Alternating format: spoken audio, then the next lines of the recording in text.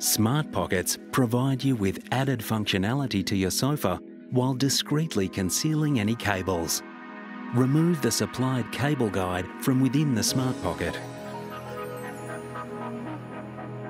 Feed the power cable through the Smart Pocket and base using the cable guide. The Velcro fabric fastener may need adjusting. Insert the bracket into the bracket holder. Place the tabletop onto the bracket and rotate into your desired position.